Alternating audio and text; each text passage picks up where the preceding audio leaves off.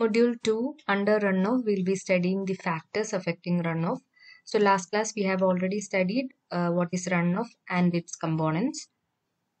So runoff can be the volume of surplus water discharged by a catchment area into a particular water body.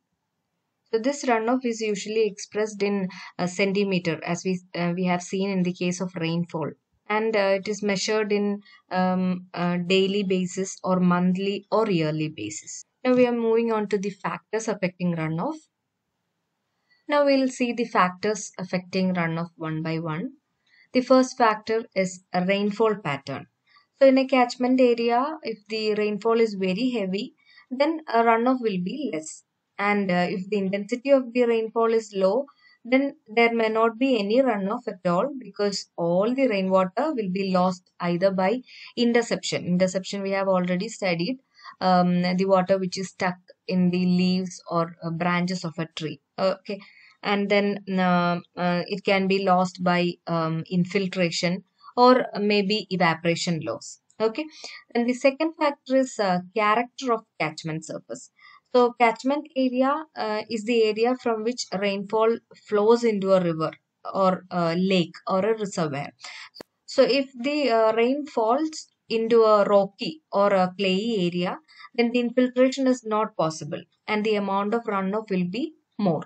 On the other hand, if it is a sandy area, then all the water which falls on the ground will be infiltrated and the runoff will be less because the sandy area will be having uh, more voids in the um, sand so infiltration may be taking place very fastly then the third uh, factor is topography. The topography of the land may be of a different type. If the area is very slopy then there is uh, no time for any loss to take place. And the runoff can um, soon reach into a water body. So if the area is not flat and has uh, so many uh, pits or uh, depressions then the water will be stuck in those um, depressions and it cannot contribute to the runoff.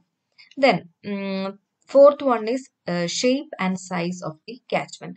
So you can see a figure here. There are two shapes of catchment area.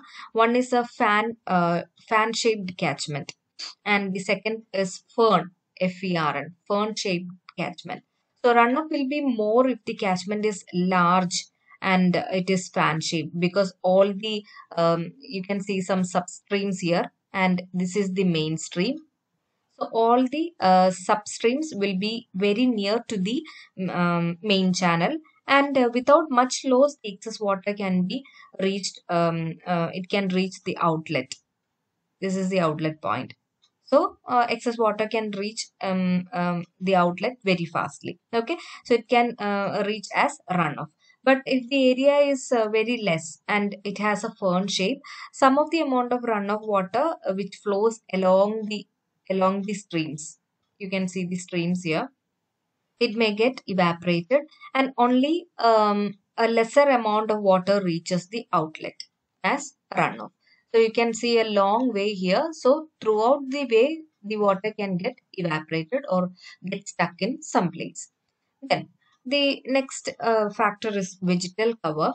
So if the area is protected with uh, more vegetation, then the rainwater which falls on the ground will not experience much evaporation loss because uh, sun's uh, rays cannot reach directly into the ground surface. But if the area is very plain with uh, no vegetal cover, then the evaporation loss may be um, very high and runoff will be less. Okay.